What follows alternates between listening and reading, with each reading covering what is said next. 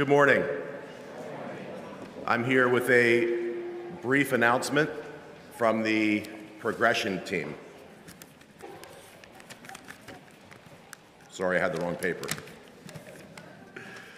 Jeremiah 33:3 says, Call to me, and I will answer you, and will tell you great and hidden things that you have not known. You have prayed, Brick Lane family, and God has been answering.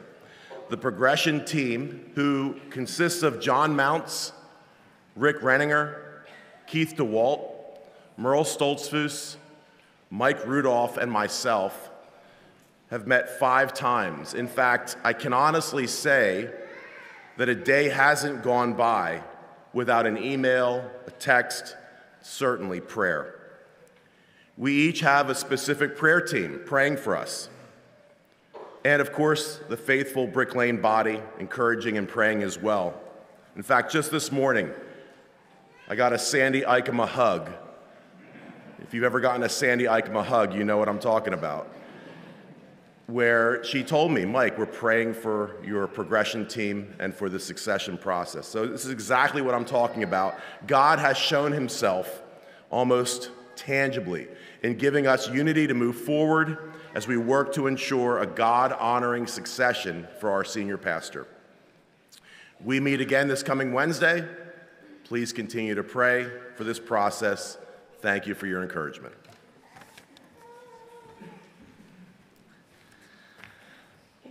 Good morning, church family.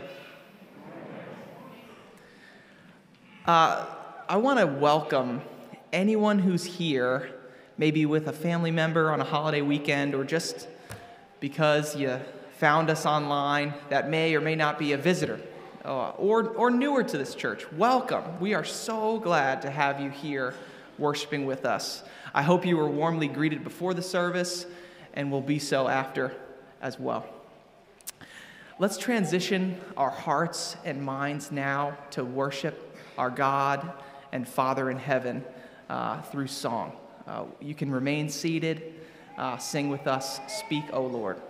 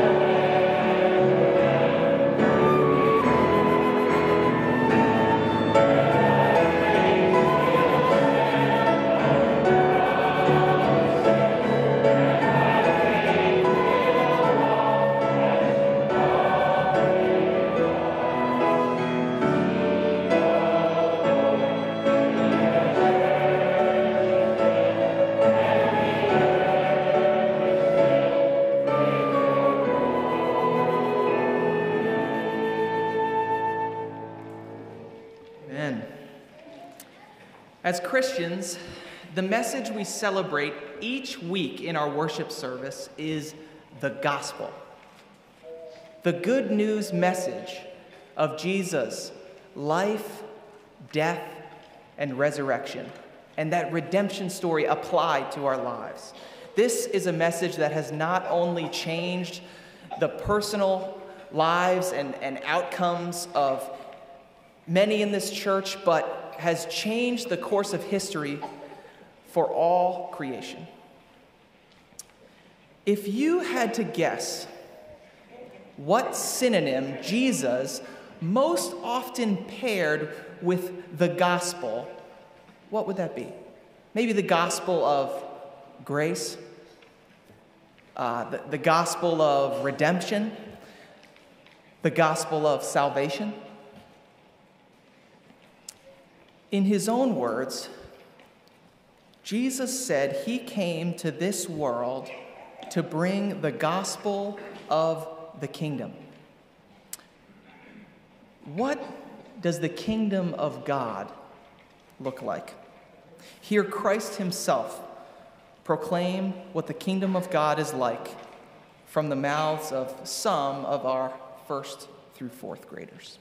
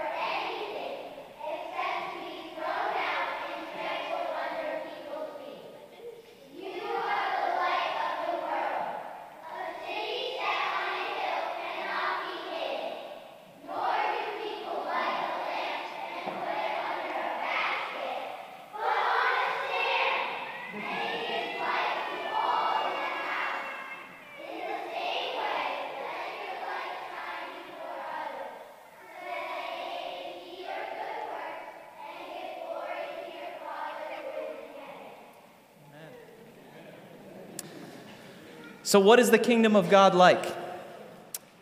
It's a little mysterious, is it not?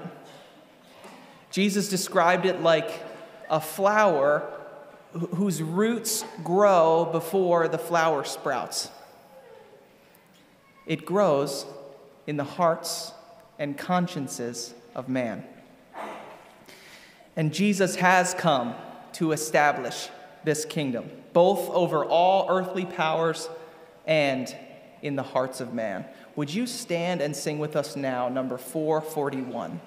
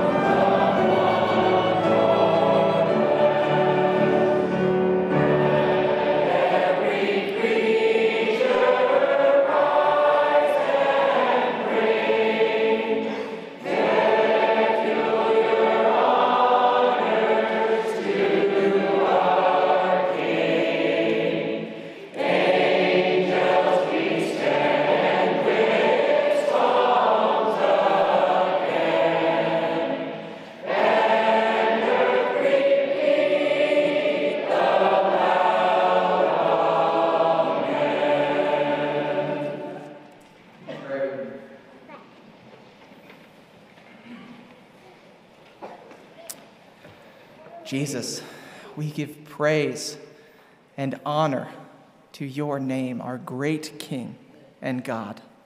Your greatness is unsearchable.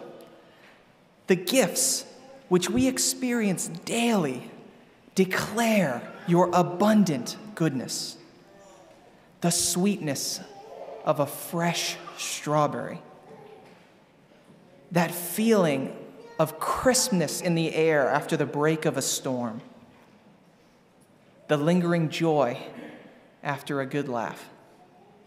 These springs of life speak of your grace and your mercy. You opened your hand and you satisfy the desires of every living thing. And despite the mar that sin has put on your creation, your mercy is over all that you have made. Your kingdom indeed spre- spreads from shore to shore. The kingdom of heaven is yours, and you promise to be near to all who call on you. And so, Lord, we ask, preserve us, your church. We pray in Jesus' name. Amen. Please be seated.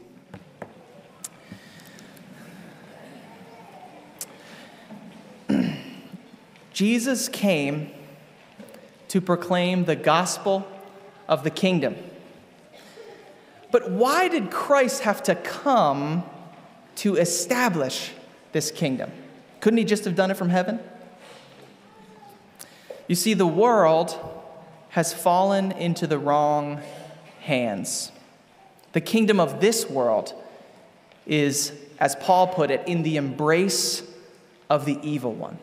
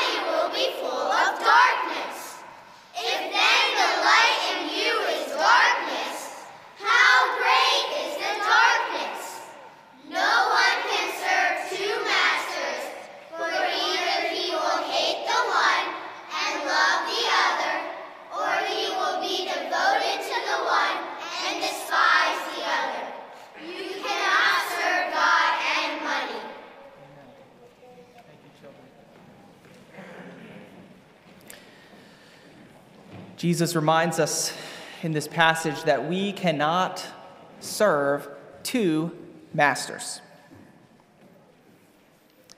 But haven't you tried to serve two masters this week? We are so often like Israel, who, right when they leave Egypt, long for the comforts of their former slave master at the sake of the kingdom that is in front of them. So, in which kingdom are you laying up treasures? The kingdom of this world or the kingdom of heaven? Take time now and silently confess of your sin.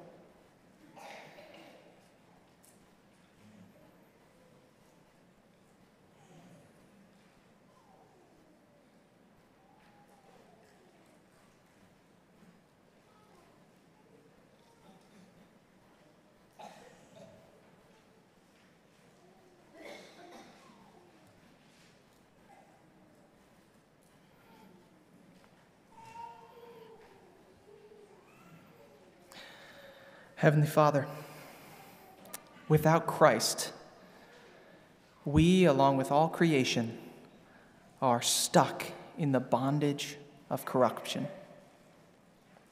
Please, Lord, overthrow the idols we set in our hearts. In Jesus' name, amen. Would you stay seated as we sing together?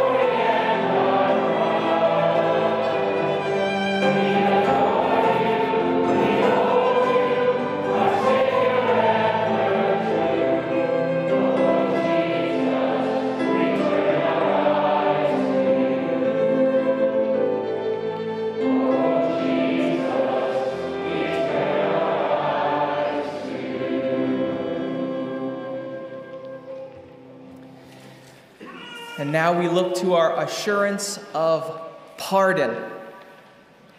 A fitting word, a much more kingdom like word than forgiveness, is it not? Pardon. In your strength, sinner, you would be stuck in the corrupt and rotting cell of the kingdom of this world. But praise be to God. Jesus did come, and he has established the kingdom of God, not through power, but through grace. From the Gospel of Matthew again, and Jesus said to his disciples, Truly, I say to you, only with difficulty will a rich person enter the kingdom of heaven. Again, I tell you, it is easier for a camel to go through the eye of a needle than for a rich person to enter the kingdom of God. When the disciples heard this, they were greatly astonished, saying, Who then can be saved? But Jesus looked at them and said, With man, this is impossible. But with God, all things are possible. Even the pardoning of your sin, faithful Christian. Let's sing together.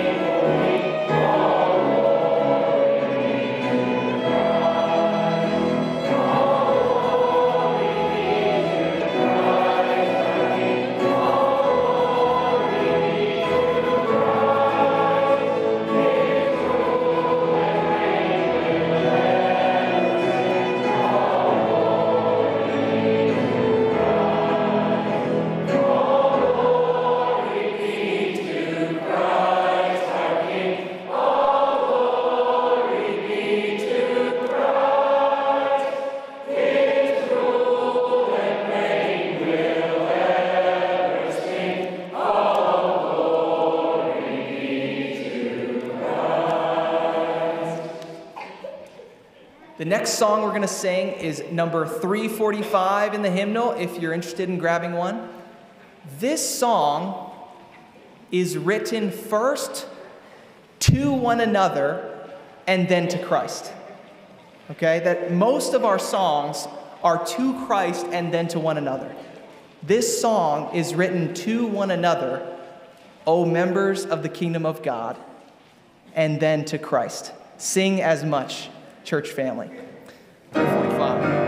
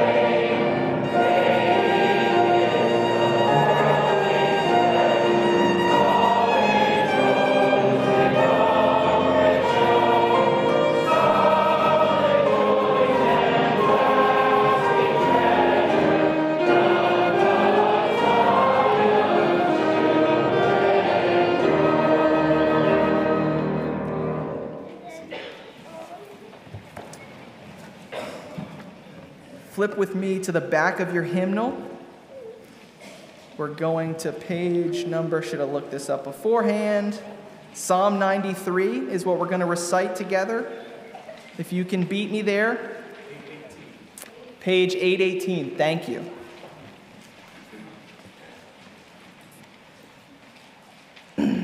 this was our call to worship last week, and I just thought it was very fitting with our service.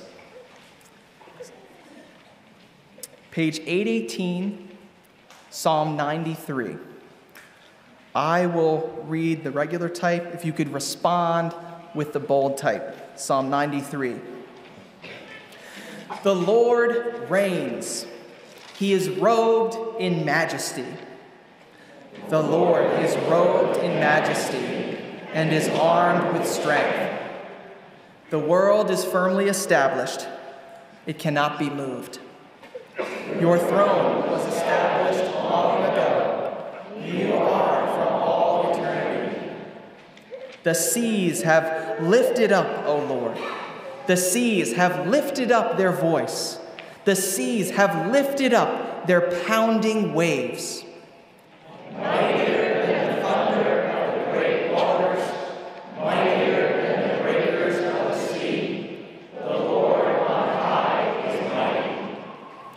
Your statutes stand firm.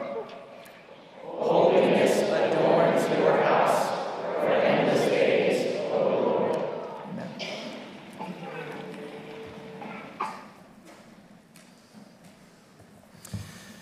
Good morning.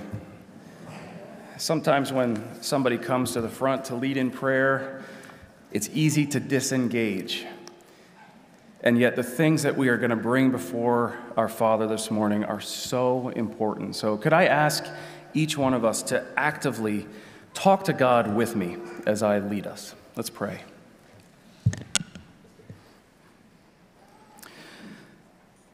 What a privilege it is to talk to you, our Father, you who are gracious and sovereign, the God who keeps his promises and whose purposes always prevail, who loved us before the foundation of the world, who called us and cleansed us, and who causes us to grow, and who ordains everything for our good and for your glory.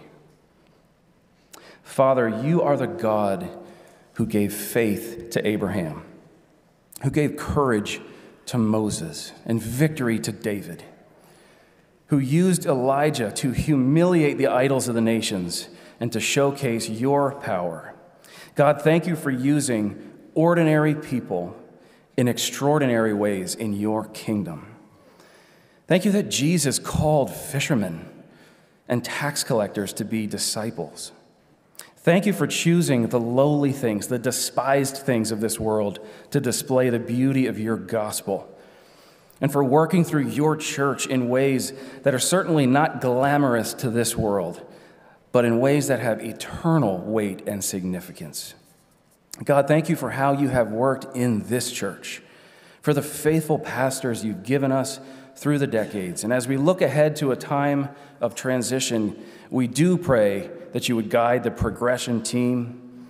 And we ask that you would give us leaders who will pick up the mantle of godly shepherding, of humble and wise leadership.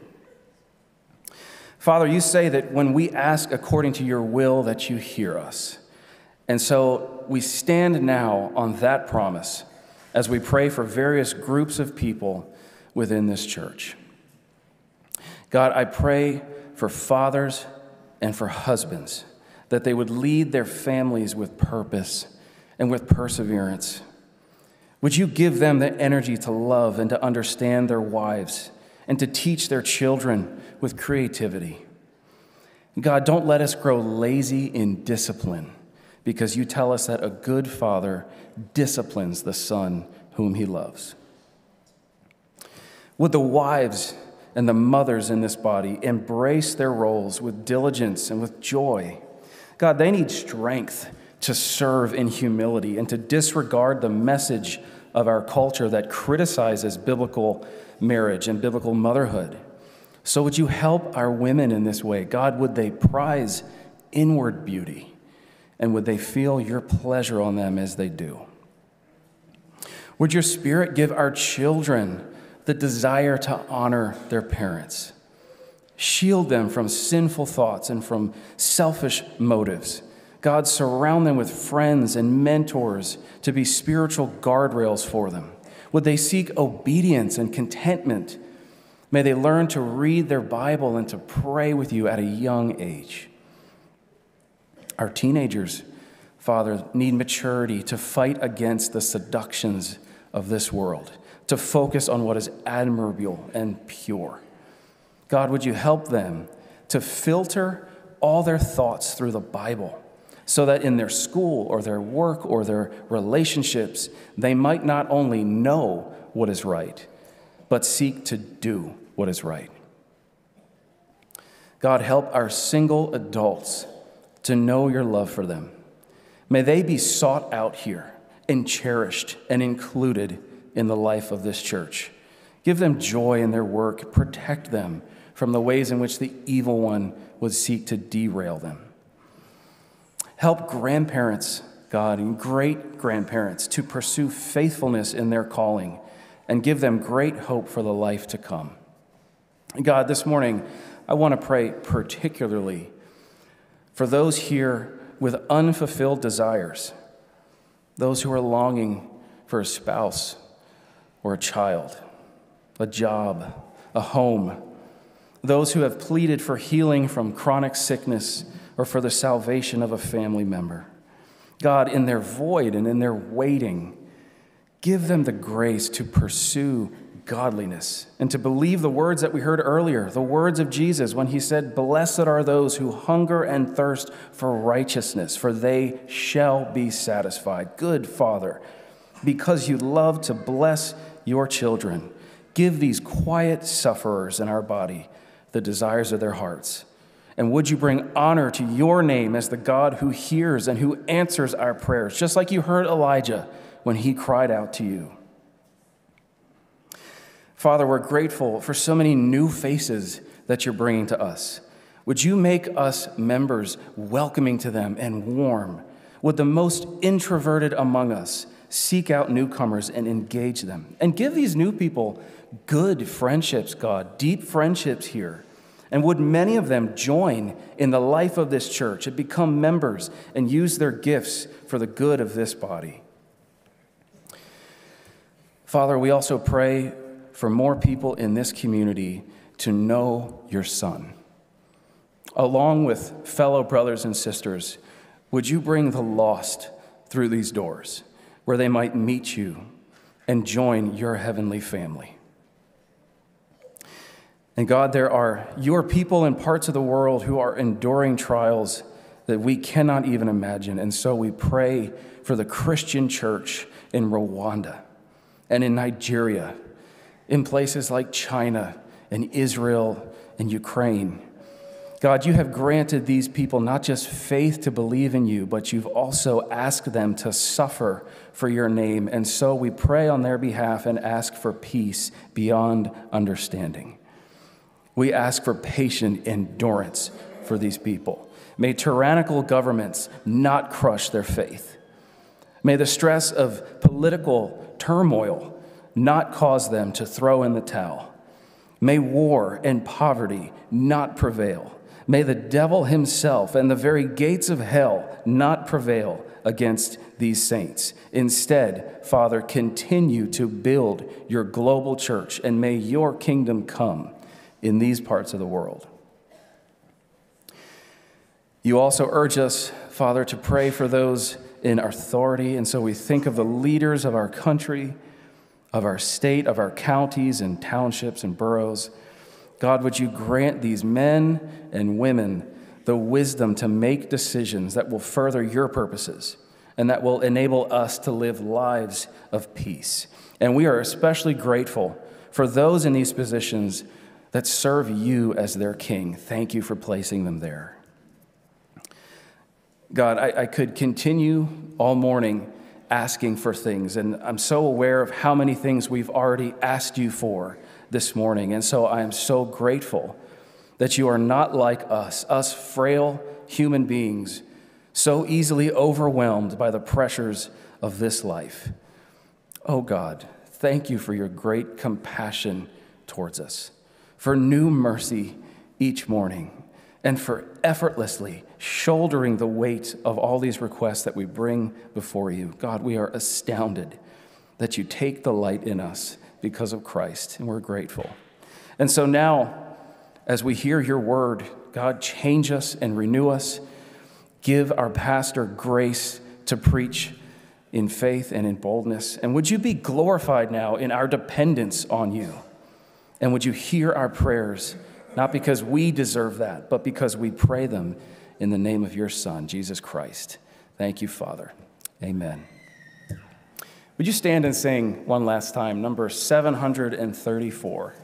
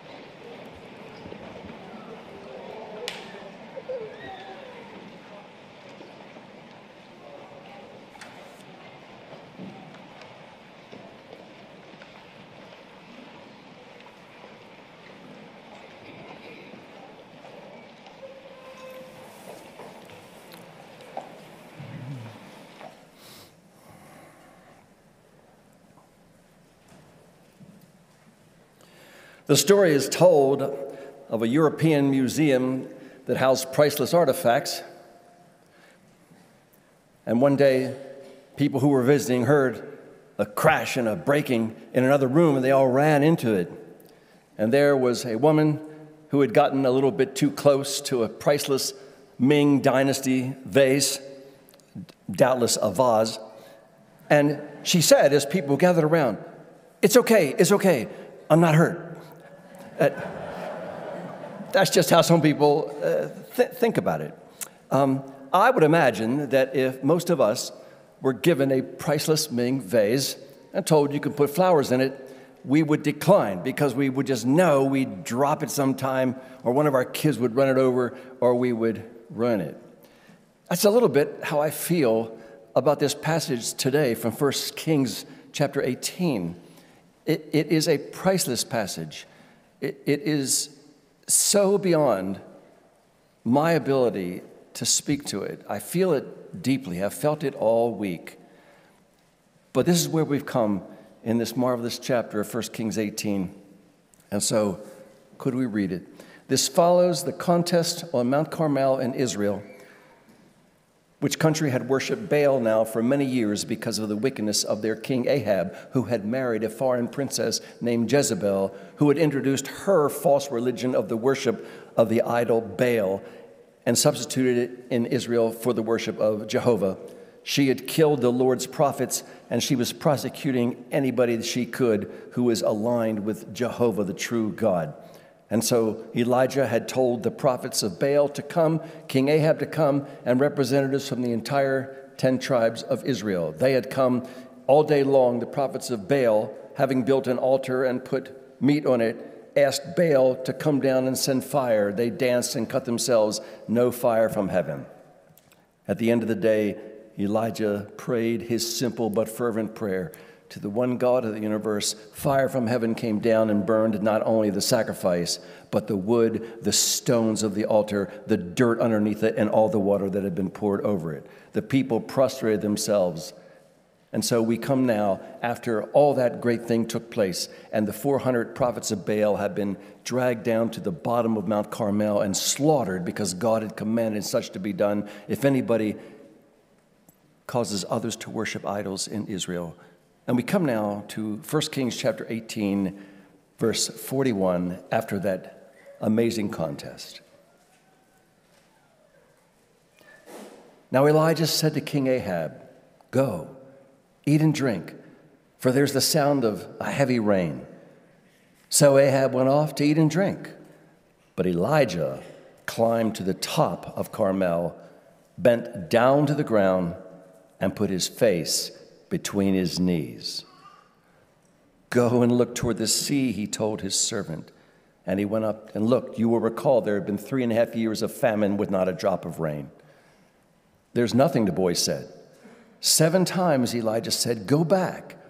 And the seventh time, the servant responded, A cloud as small as a man's hand is rising from the sea. So Elijah said, Go and tell King Ahab, hitch up your chariot and go down before the rain stops you.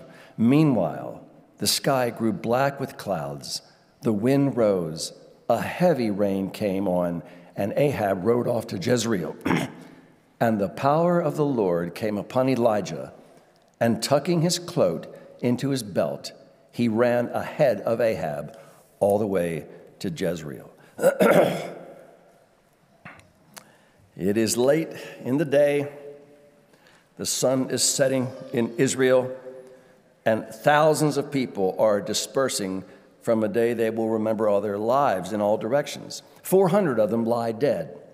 The prophets of Baal, whom God through Elijah had commanded be killed for their leading the entire nation astray. And so their white clerical robes are stained red with their own blood, and they will need to be buried to keep the disease from spreading. Well over a thousand other people are there too.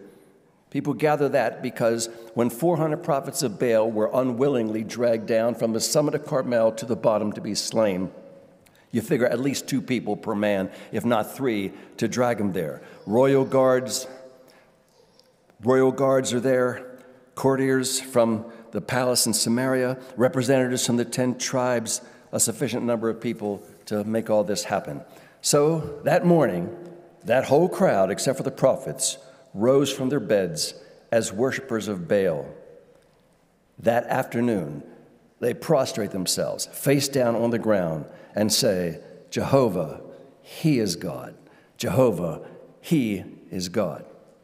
But the focus now in our passage is on two men one, Elijah, who has been all the way through the chapter, and one on a man who has not been in the chapter for 21 verses, the king of Israel, Ahab, the one who married Jezebel and through her led all of Israel into the worship of a false god, leading them into eternal hell. So here is Ahab the king. Here is the tough prophet Elijah covered with camel skin cloak. Now, it's interesting to me that the books of 1st and 2nd Kings, which were originally written as a single book, was broken up in our English Bibles. The book of 1st and 2nd Kings covers 400 years of Israel's history. Imagine now you were going to write a history of America beginning in 1776. How many things would you feel the need to say to arrive at 2024? And yet, of the few things that can be said in these two books about the entire history of Israel, God thought it important to include a detail in verse 41 where Elijah says, Go, eat, and drink, for I hear the sound of heavy rain, because the famine is over. Now we get Elijah saying, I hear the sound of heavy rain. It had not started to rain yet, of course, but in his faith filled imagination, it's as if he can hear it coming because God has promised it. But why does the Bible go out of its way to say that Elijah said, Go, eat, and drink? The simple answer, it seems to me, is that it's appropriate to celebrate, of course. The drought is over. It, it, it makes sense. The uh, hunger and thirst of the drought would be um, overcome sort of symbolically by the eating and drinking. It makes the drought seem like a thing of the past. But there's a bigger answer to that, it seems to me, and it's to draw a contest between, a contrast, I should say, I'm sorry, between the two men that we're talking about here, between Elijah and the king. Because verse 42 spells it out Ahab went to eat and drink, but Elijah climbed to the top of Mount Carmel. Both were at the bottom, it seems, because they had gone down when the prophets were dragged down to be killed. Elijah's mission now is going to become the first great theme of this passage. It's going to involve an activity that characterizes him and that ought to characterize every serious follower of our Lord. And the theme is this that one cannot serve God truly without a life of prayer. So the text's first great lessons come as we watch Elijah do the first of the two things he does in this passage. The text's great lessons at the beginning now come as we watch Elijah pray. It's not wrong to go eat and drink. The Bible is full of feasting. The Bible actually commands the Israelites to attend certain feasts. The scribe Nehemiah, in the book of Nehemiah later, will be reading the law to the Israelites who have long forgotten it. And as he's reading, they weep because they realize how much they haven't done. And he says to them, Go and enjoy choice food and sweet drinks. This day is sacred to the Lord. Don't grieve. The joy of the Lord is your strength. He tells them it's appropriate to feast. Jesus made wine at a wedding. Jesus was one who was known that, to come and eat and drink with other people. But Ecclesiastes says, for every season, for everything on earth, there is a time. For everything, there is a season. There's a time to weep and a time to laugh. And for Elijah, this was no time for laughter and celebrating. This was a time to pray. Because although the people had given lip service to Jehovah that very afternoon, the great question was, of course, would it last? Would Israel genuinely turn around? Think about it 400 prophets of Baal have been slaughtered but 450 prophets of Baal's supposed wife, Asherah, did not come to that event and were still roaming around to pull people away. And then there was Jezebel, who was still very much alive. Now, Ahab, the king, had allowed this great contest between Baal and Jehovah, and he had allowed 400 prophets to be slain. But will his heart be changed? Is he going to continue to fly the banner that Elijah hoisted in the honor of Jehovah. And besides, Elijah needs to go pray because there's still no rain. So after the contest, Elijah says to Ahab, I hear the sound of rain and of a drenching storm. He, he believes this through faith, not because of sight. And so as Ahab goes to eat, Elijah climbs the mountain to pray. And now we start to see some of the themes of prayer in this passage that are most helpful to us and challenging. And the first is that prayer in public needs to be fueled by prayer in private. Jesus condemned the Pharisees who stood and prayed great prayers in front of others in order to be thought religious. But he was interested also in the private prayer where you close your closet door, as he said, and pray just to your Father in heaven, who sees you in secret, and he will reward you openly. Now, Elijah had prayed in public that very day. Do you remember? After the prophets of Baal had been unsuccessful, he built the altar of Jehovah. He laid the animal on the wood. He had it drenched in water.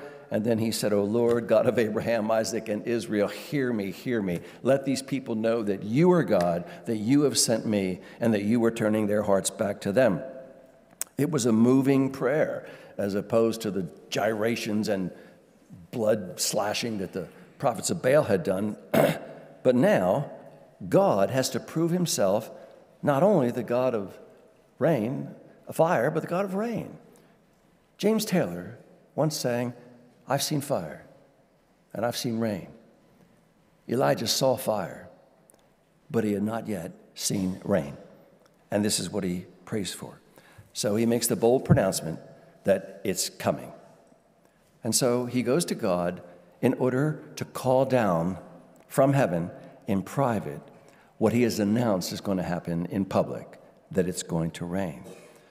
People who minister, particularly as small group leaders, Sunday school teachers, people who, who give talks, uh, pe- people who, who give um, lectures in Christian schools, people who preach from a pulpit, people who teach or lead in any way publicly. Those who minister in public must pray in private if what they do is really going to get anywhere. So he begins this steep ascent up to the top of this mountain, which leads us to our second principle that we learn from watching him pray. And that is that prayer needs to not only precede our spiritual accomplishments, but prayer needs to follow our spiritual accomplishments. And this is not as intuitive to us as Christians. For God's servants in this life, there really is no resting on one's laurels because nothing good that God has ever enabled you to do or has ever done for you, nothing good will go uncontested because the devil is a roaring lion who prowls about seeking whom he will devour. And so, after you've come off the highest summit of the greatest spiritual experiences you've ever had, immediately the devil is going to be on you to rob you of all that and to take you in a totally different direction. Do you remember how Jesus Christ himself, after he had fed 5,000, the Bible says he dismissed the crowds and then he went up on a mountainside to pray by himself. When evening came there, Matthew says, he was there alone. We might say that the theme or the principle is that great spiritual accomplishments must be presented to God for his safekeeping.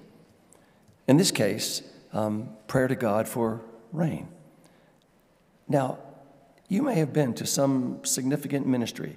Perhaps you've been on a missions trip and sensed God using you and using the fellows in your team more than you ever dreamed possible. Or maybe you have finally gotten the courage to share the gospel with a friend, an opportunity that you prayed for for a long time. Or maybe you have won a contest with some temptation that dogs at your heels and that you usually flop at. And you just feel, and rightly so, you feel good. You sense the Holy Spirit in you. That is good things. You may have heard a great sermon, but after all these things, you know how quickly you return to everyday life, just normal Monday through Saturday. And God must sustain the gain that you got, or it will be quickly lost. And so Elijah goes back to Carmel, and I suspect the reason he climbs up there, it's not said exactly, but one of the two reasons seems to me because it often helps to go back to the scene of a great victory. Some of you, years after you're married, may take a trip and go to the scene where the man asked the woman to be his wife. Some of you may go back to your high school field where you did great exploits on the gridiron, or you left everyone in the dust racing around that track. Um, I have often walked into the church sanctuary, both this one and the old sanctuary, after an amazing Good Friday service or a Thanksgiving Eve service that has been wonderful, or a Christmas Eve service where everybody just sensed the glory of the incarnation of Jesus Christ. And after everybody's gone and all the lights are dim, I just walk into that sanctuary and just breathe the air and think to myself, what happened here an hour and a half ago is amazing to me. It's very helpful to my soul. And you probably do that sometimes. I remember one time when I was in high school, there was a man who mentored me and discipled me, and he was an open air evangelist. I don't mean he stood on the street corner with a sandwich board saying repent or, or burn or something like that. He, it was a lot more classy, but he, he learned he had a sketchboard where he would draw very simple drawings that would gather people around, and then over his shoulder, he would talk to them slowly about the gospel and weave the gospel into where he was going. And as I got to be a teenager, he asked me to bring my guitar along, and sometimes I'd sing. So we started out with little kids' meetings in, in uh, high rise projects in poorer sections of Baltimore City or in Chicago. But then later on, we got to where we would go downtown and, and do this with businessmen on the sidewalks during lunch. Uh, and then the hardest, he said, Steve, Next week, let's go to Northern High School during lunch. Northern High School in Baltimore, I'd say, was a probably um, lower middle class, mainly white high school, and fairly rough kids. And during lunch, they were allowed to go outside. And he says, Steve, get your guitar. We pulled up in our van. He opens the side doors, pulls out a little platform to stand on, jury rigs a, a, a, um, a canopy that f- comes over it. It makes a nice little stage and he says, Get up there and sing. So here are all these kids. I was scared to death, but it sang, and as I sang, you felt God with you. Um, the kids did not necessarily feel God with them. So they were booing and yelling, and then you start getting pennies and nickels whizzing by your ears and making nicks in your guitar. And finally, a bunch of them got on either bumper of the truck and they started rocking the van. It was quite a scene. And then my friend got up and he preached the gospel. And many years later, somehow a letter found its way to ourselves of a, of a young boy saying, I stood at the back of that crowd and watched. He, he said, It was the day I became a Christian. It was remarkable. I remember a few years ago visiting Baltimore, and I was irresistibly drawn to drive back to Northern High School. School was out, nobody was there. It was uh, empty as a box of cornflakes after my sons had gotten a hold of it. Uh, but there we were, and you just remember what God had done there. This is right and good to do. This is what Elijah did, I think, when he went back to the scene of his great victory on Mount Carmel.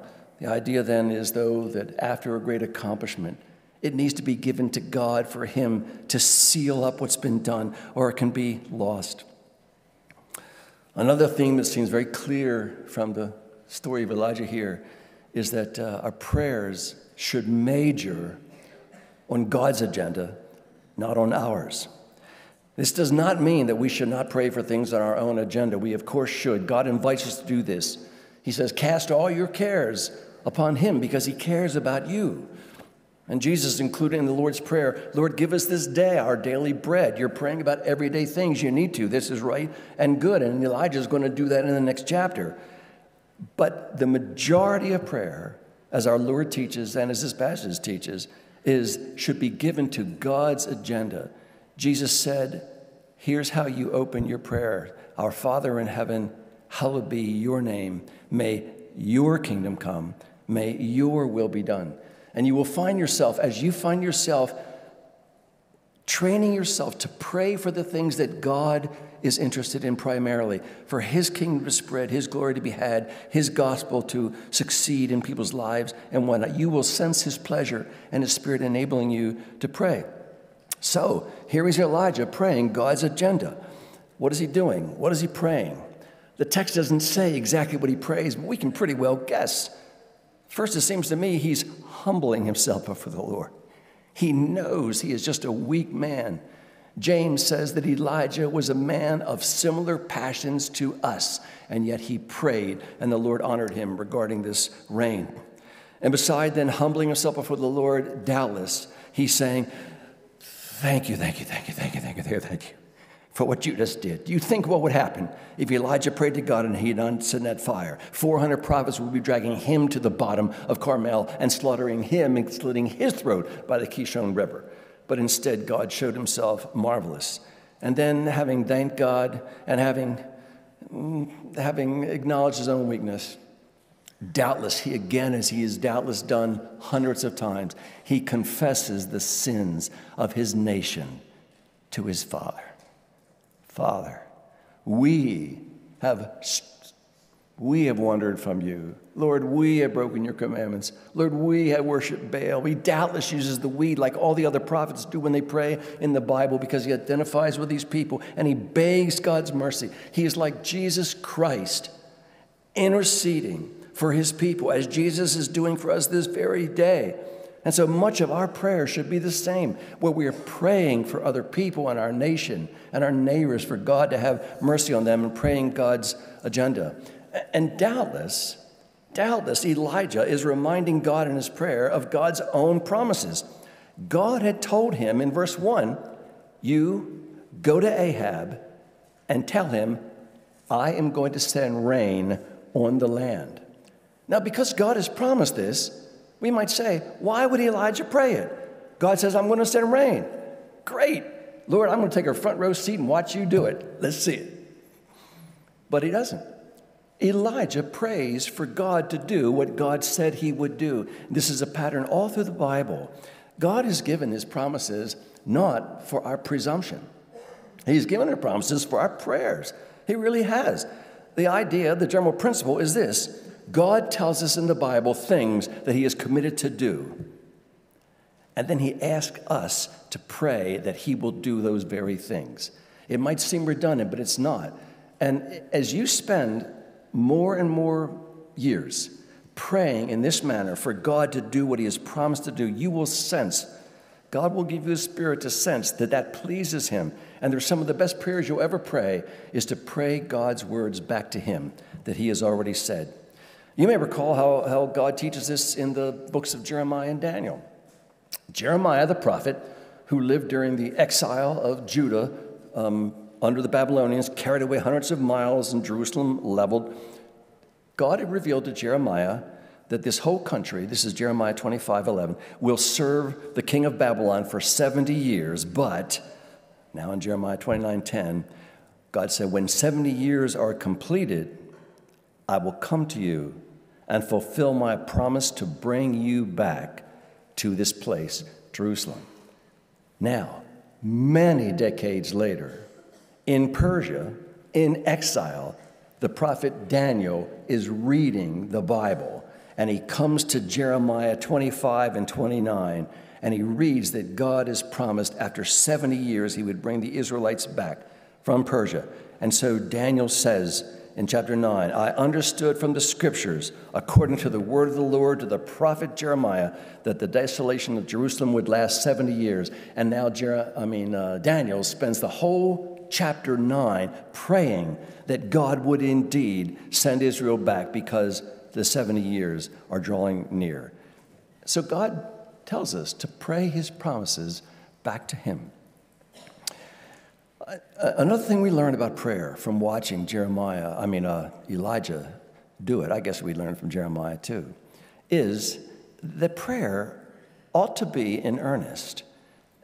I don't mean that we should never just pray quick prayers really quickly. You're in the uh, you're in the seat of your car and a, another car pulls in front of you. God help me, God help me. Uh, that's fine. Or if you even pray lightly, God, Lord, if, if you would give us a rain-free day on our vacation, we would love that. Thank you. That's okay. But earnest prayer is is mainly what God is looking for. And here, the way that Elijah shows his earnest prayer is the same way that he showed it when he was with the widow and her son, and the son died, and he stretched his body out over the boy. Elijah shows the earnestness of his prayer by the posture of his body. Now, I don't know exactly how it looked. Um, there's no biblical command, by the way, to always pray in a certain way. Prayer in the Bible is done by standing, by kneeling, by prostrating a person's self, by raising a person's hand. Uh, we read that, that, that Jacob prayed uh, sitting on his bed, leaning on his staff, this kind of thing. But the biblical examples show that God is pleased when, in our earnestness, we use our bodies in some way to show the intent of our heart and the seriousness with which we're approaching the throne of God. The earnestness of of uh, Elijah was shown not just in his bodily posture, because it says that he bowed down and put his face between his knees. It says that his earnestness was shown in his perseverance. Now, recall the geography we talked about last week. Here you have this 12 mile mountain range. At one place, there is an area, probably the only place in the entire mountain, that could accommodate um, several thousand people on a plateau quite high up near the very summit, but not at the very summit. It takes a short walk up a further summit to get to the bald top, and only from there can you see the Mediterranean Sea to the west. So Elijah is, we might say, 98% up the mountain. He's praying to God, and he wonders, has God answered? So he says to his servant boy, Go up and look. The boy scrambles up the bald hill strains his eyes out toward the Mediterranean. Elijah's not going to like this. Comes back, nothing. Pray some more. Go again and pray some more. Can you imagine during that seven times? On the sixth time, I would be so nervous if I was that man. But God has said, I will send rain. And God has filled his Bible with promises that are the equivalent of I will send rain that he's told to us. And so Elijah keeps at it until God answers. You remember that Jesus talked about that same kind of perseverance in prayer.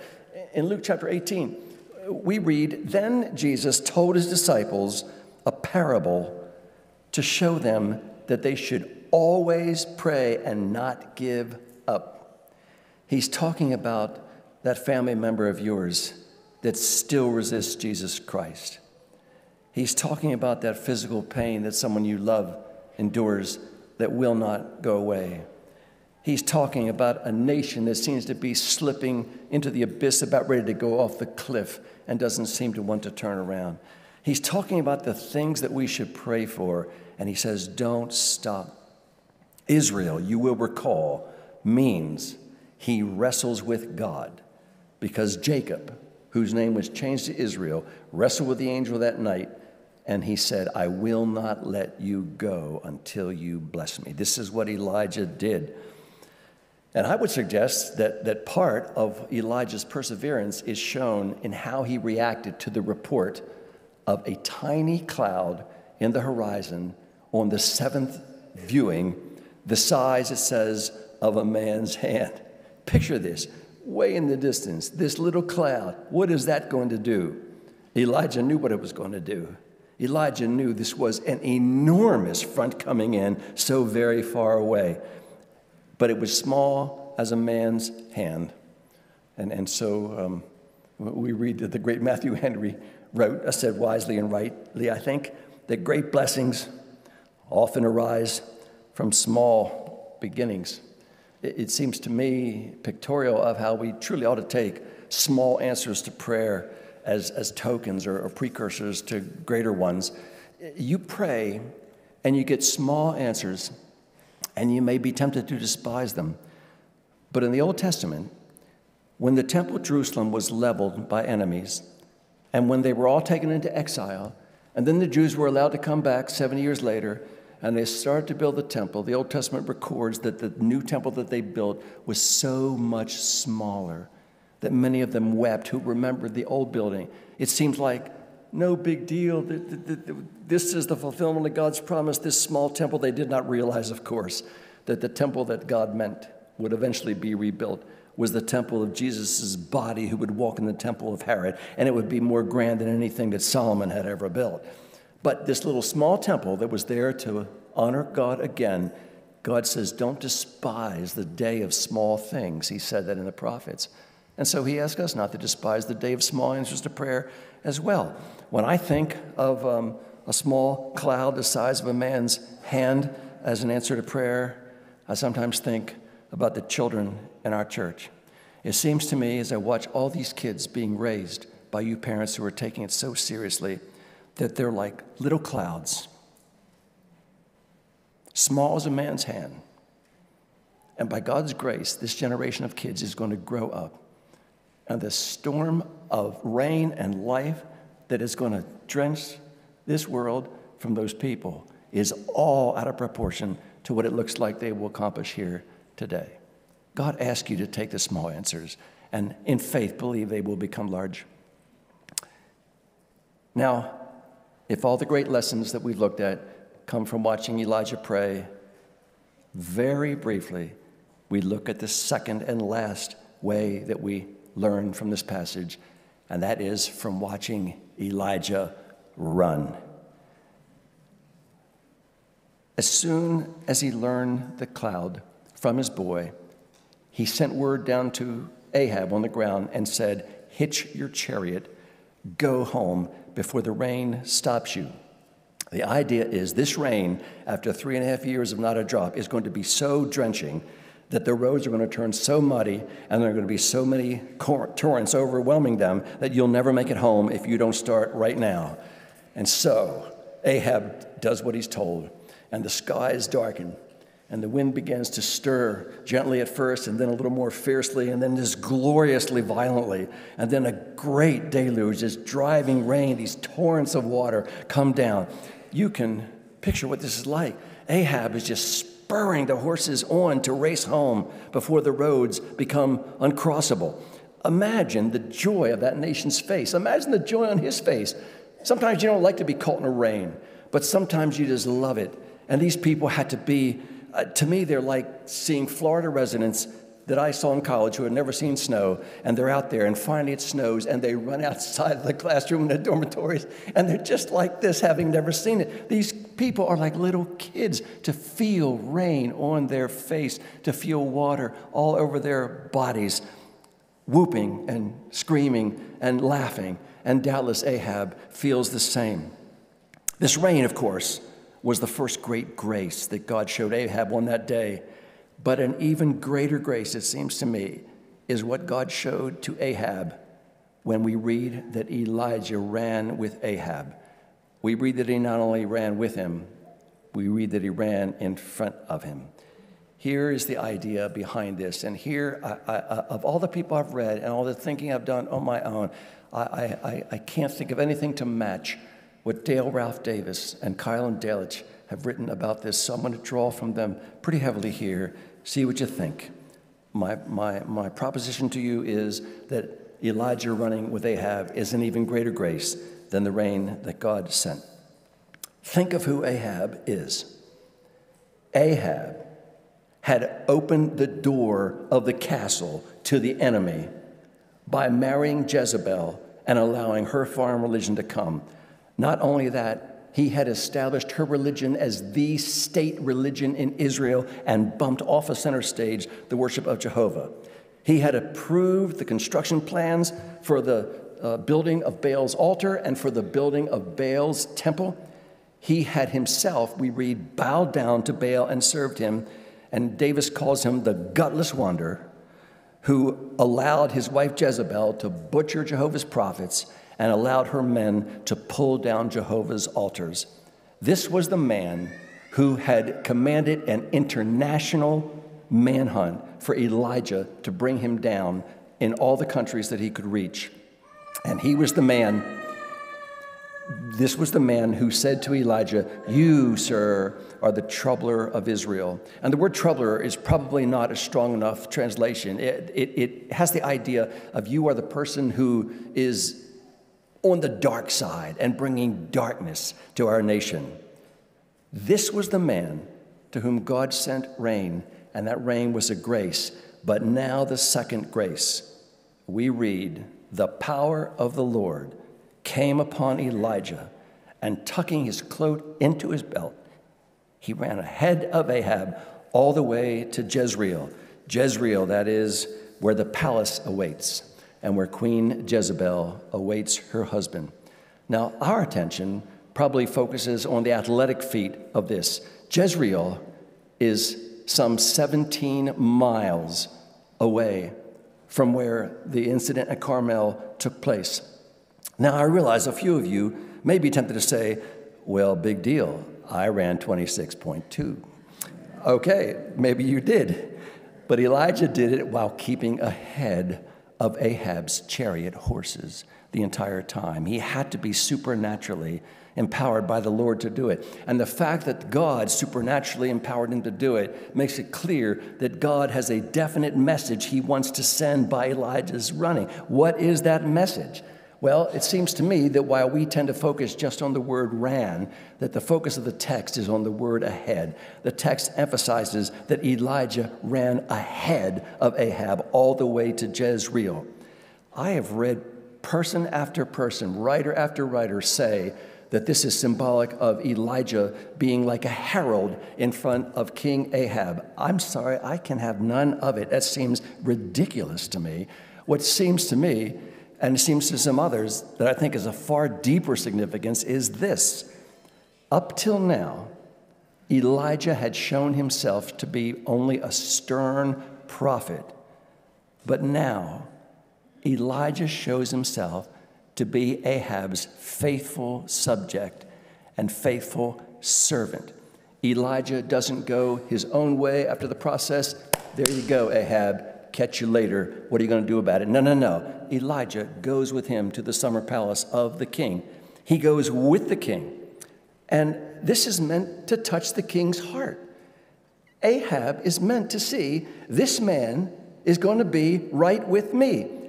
He is sent by God to run this way in order to keep Ahab from Baal, to remind Ahab of what happened 17 miles earlier to get Ahab understanding that God's grace is reaching out to him, that God is seeking to break the resistance of this rebellious man. As Keil Delitzsch put it, Elijah is running to show that Elijah is not trying to ruin him, but is here to save the man's soul.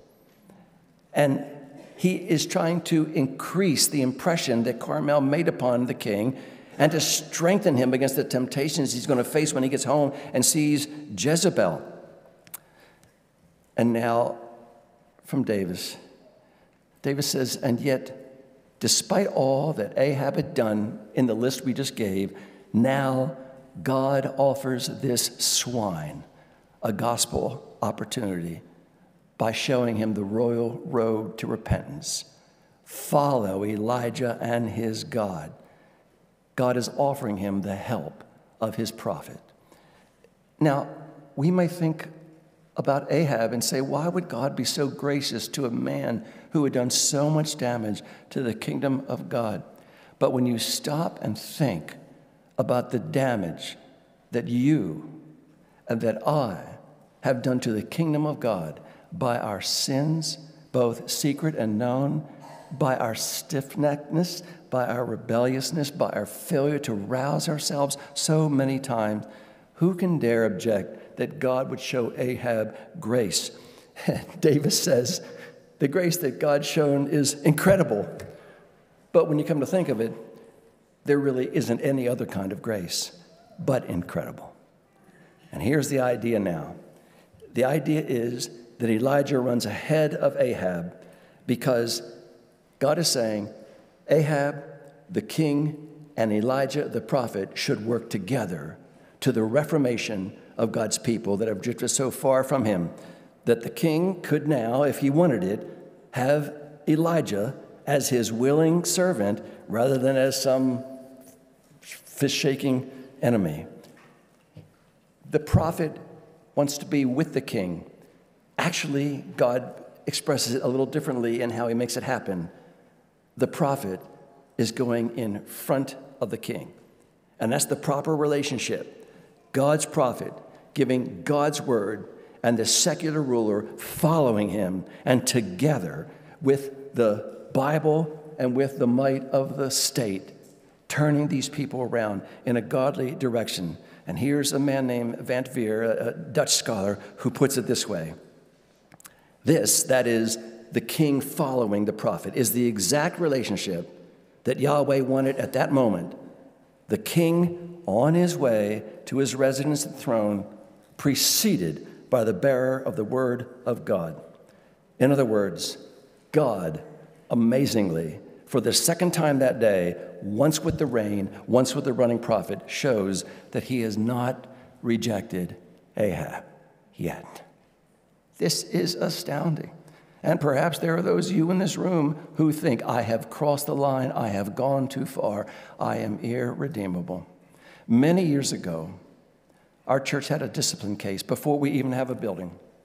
It was by a young woman who had gone to high school with several of the women in our church and had eventually become a Christian during high school years and later on came to attend this church. Later on, we needed to have a service of church discipline.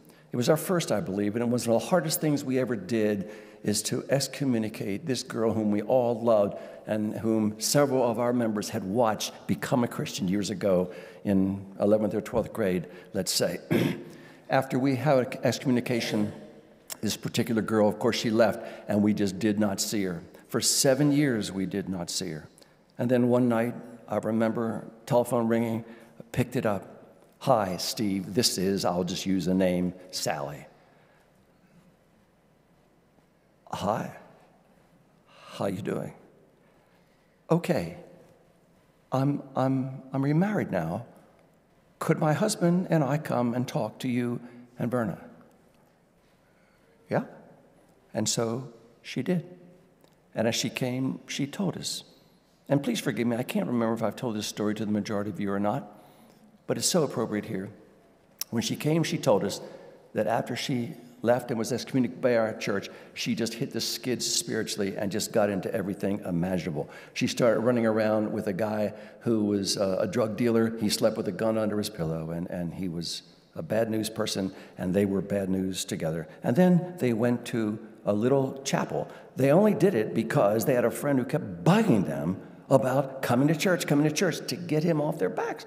She came, and her husband came. They sat in the back row. It was a little King James only, Bible banging, hellfire breathing sermon. The last kind of thing you think would draw a person like that.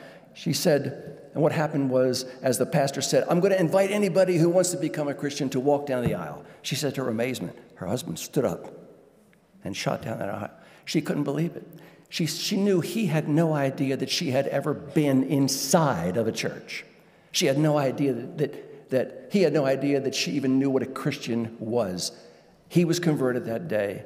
And so, slowly, as he began to grow under the tutelage of this pastor, they together embraced Sally, and she began to turn around. She told us that night that she had thought she was guilty of the unpardonable sin and could never be received back by God again.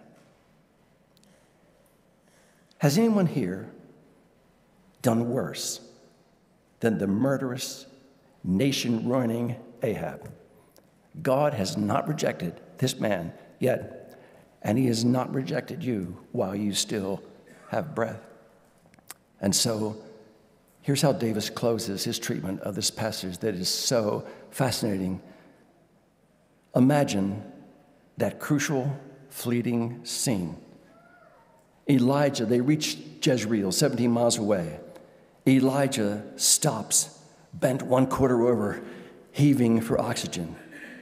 Momentarily, Ahab's chariot comes barreling past and turns down the lane leading to his summer residence.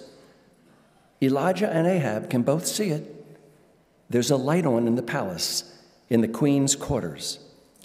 Ahab has an offer of grace in his hand, but his feet will soon stand in the devil's bedroom.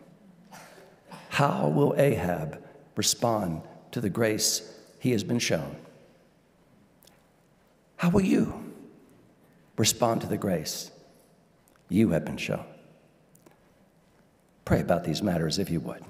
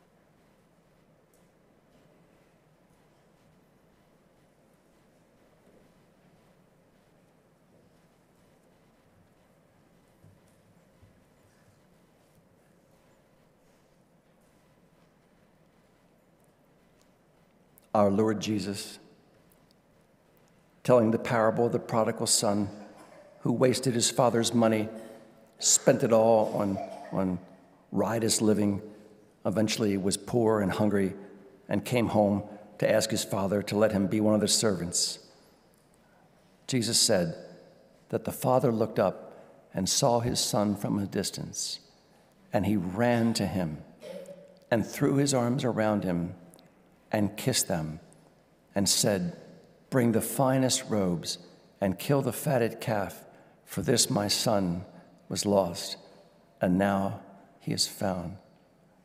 God, if any prodigal son or daughter is sitting in this room, please give them the faith to believe that you, the Father, are waiting for them to come, that you would welcome them, that their repentance will be met with arms around them, and that their faith will be met with pardon and forgiveness and welcome to the family. Please do that, Lord, for those who have never been yours and any who have drifted far from you. And now, may the grace of our Lord, who sent fire and rain and caused Elijah to run, may that same grace be yours in abundance and may God give you the faith to see it and believe it. The grace of our Lord Jesus Christ be with you all. Amen.